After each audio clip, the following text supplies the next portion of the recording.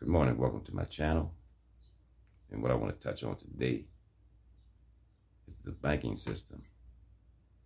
The banking system is getting very funny these days. The reason why you can't get your money out of the banks is because your money is being used in other places and financed in other, you know, different sonorities. And then when you go to withdraw your money or a certain amount of money, you can't get it because your money's not there. They've used your money somewhere else. This is what they're doing out here, folks.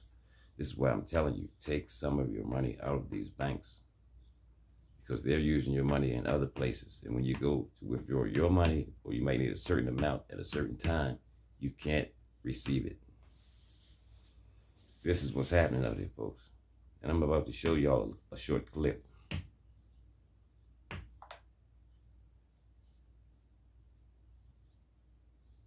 dollars. I'm like, well, you can only take out 500. Why? I have plenty in there. Give me my money. That has always, always bugged me. And I have told him This is numerous what they're doing, folks. they're it's kind of like that phrase, you're writing a check, you're asking cash. It's not fully like that, but it's kind of like that. They are showing you how much money you have, knowing that they do not have enough money in the bank to cover everybody's balance, right? So Right, they have to doing, that folks. you can't take too much out of your own account so that the next person can't get enough out of their account. That's how I feel like it goes. And now they're saying, oh crap, we've either loaned your money out to places and now we're not getting it back, so now you can't have your own money, or they're worried about the This is fact what's happening, folks. people want their money, so they're putting these like stops on it. I think it works. Dollars, I'm like, well, you can only take out 500. You can't even, you know, this is a shame, folks. You can't even, uh, see, this is what's going on. This is exactly what's going on in these banks, folks. These people are taking your money and using it and financing it to other folks, companies, and different places, you know. So when you go to get your money, it's not even there.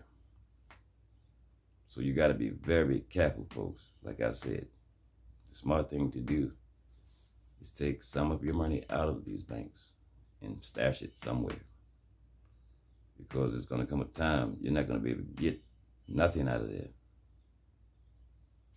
Yeah, it's going to be a hurting feeling when you go to your bank to withdraw a certain amount of money. You might have emergency or something. You might need a certain amount and you can't get it.